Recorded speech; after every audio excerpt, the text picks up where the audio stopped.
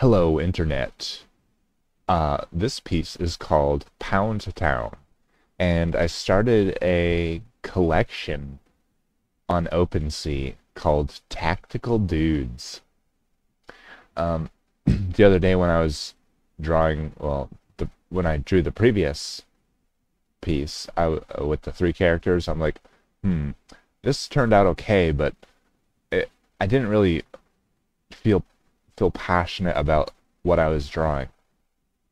So what out what is out there that I would feel passionate about drawing? And that is tactical dudes.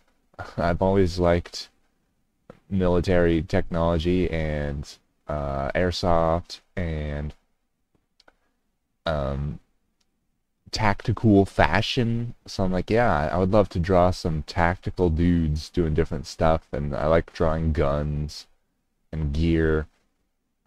This um this person call sign Poundtown is actually based on my brother. And uh yeah, it's based on my brother. And he has a saying, well, uh, he's only said it a couple times, but he texted me a message one time saying, asking, Did you get your reps in? And that was a reference to uh, drawing drawing a pistol. Did the video freeze? I don't know what happened.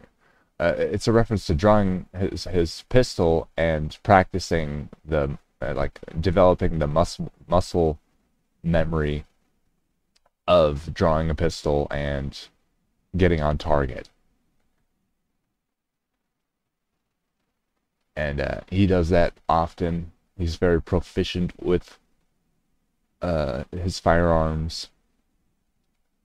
So um, yeah, that's the inspiration for this tactical dude. Tactical dude number zero or number one, depending on whether or not you're uh, a zero indexer or not. if you know, you know. Am I right, programmer bros? so the gun, I didn't spend I didn't put much thought into the gun, and it ended up looking kind of like a deagle. And uh, I kind of regret that because I don't like deagles, and I don't think my brother likes deagles. But it's it's kind of a just a cartoony looking gun, and I, I threw in the little meme text there in the border, kind of made the background slightly more interesting with some fractals. But that's about it for this piece and we'll see who uh, who I draw next. This is Pound Town, and I'll see you tomorrow.